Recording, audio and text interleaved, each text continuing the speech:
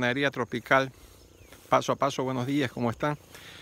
El día de hoy vamos a ver cómo se reconoce un potrero cuando está en su punto óptimo de reposo.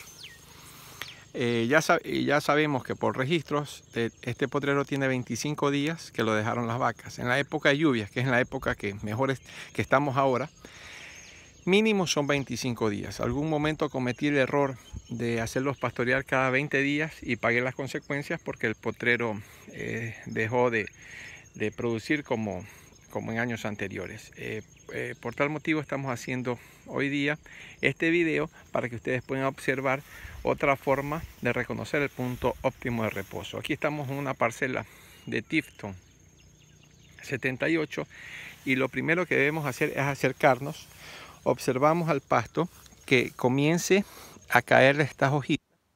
Está listo, lo comenzamos a abrir y vemos que las primeras hojas basales, como ustedes podrán ver ahí, ya están amarillas.